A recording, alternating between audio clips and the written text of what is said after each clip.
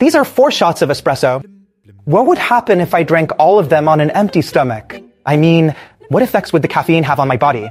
Well, I say that we can give it a shot and see what happens.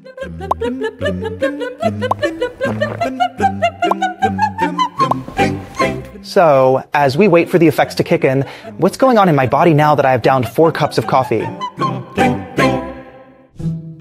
The caffeine in the coffee passes through the stomach and then reaches the intestines, where it is absorbed and released into the bloodstream in approximately 15 to 30 minutes. Clearly, it depends on whether you have an empty stomach or not. Presumably on an empty stomach, it hits your system faster. So in my case, in about 15 to 20 minutes, I should begin to feel the first effects. Now, when the substance enters the bloodstream, we can say that it is literally distributed throughout the whole range of bodily fluids, from blood plasma to saliva, even reaching the breast milk and the placenta.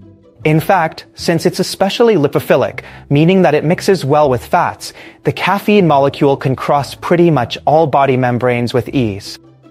So it can even get past the barrier that protects our brain, the blood-brain barrier, and enter the brain. And this is where the caffeine exerts its psychotropic effects.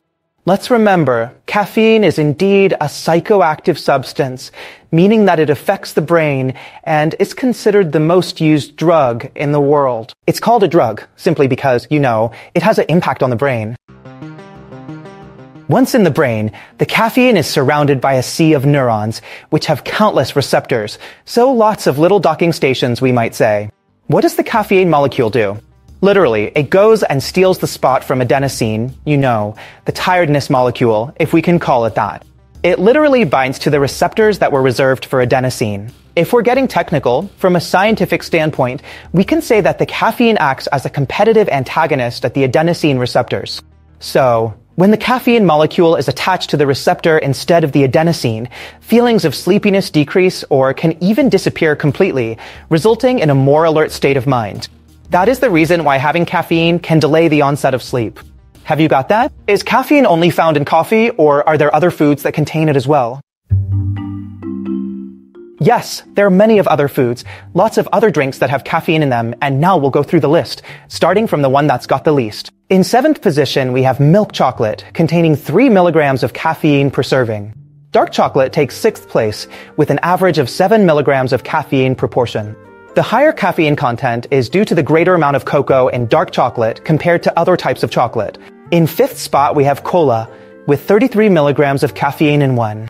I'm starting to feel a little agitated, and I have a slight burning sensation in my stomach, heartburn. Also because adenosine stimulates gastric acid production. In fact, people who suffer from heartburn can't drink much coffee, precisely for this reason. Actually, I'm starting to feel a bit of heartburn. In fourth place, we have black tea with 50 milligrams of caffeine in a 220 milliliter cup. Sharing second position, we have 60 milliliters of espresso coffee, like the espressos I just had, and a 220 milliliter can of energy drink, both of which contain a total of 80 milligrams of caffeine. And in first place, we've got American coffee with 90 milligrams of caffeine in 200 milliliters. So, by knocking back four espressos, I'll have taken about 80 times 4 milligrams. So 320 milligrams of caffeine, and 320 milligrams of caffeine is no small amount. Just so you're aware, the European Food Safety Authority explicitly states in its guidelines that it is considered safe for the general adult population, with the exception of pregnant women, to consume over the course of the day, so not all at once, a maximum of 400 milligrams of caffeine. I took 320 milligrams, so I am under the limit, but the thing is I took it all at once, and that can lead to side effects. In fact, consuming more than 300 milligrams of caffeine in a single dose can be regarded as a full-fledged caffeine overdose. Right now, I'm overdosing on caffeine. The symptoms of caffeine intoxication include restlessness, jitteriness, excitement, insomnia, and a flushed face. Am I red in the face? Gastrointestinal issues, for sure. I've got a pretty upset stomach, a chaotic flow of thoughts and words. Alright, yes, that makes sense. Irritability, arrhythmia, rapid heartbeat, and muscle tremors. And usually I've got a super steady hand. I mean, this shaking might seem normal to someone else, but my hands never usually shake. Clearly, all these side effects are simply due to the fact that I consumed four coffees at the same time. If I had drunk, perhaps, one for breakfast, one mid-morning, one after lunch, and one in the afternoon, I wouldn't be feeling like this. So, as always, it is the dose that makes the poison. Too much caffeine all at once is not good. So we would never drink four coffees, but that seems pretty obvious. We should be aware, though, that throughout the day it's best not to exceed five cups of coffee.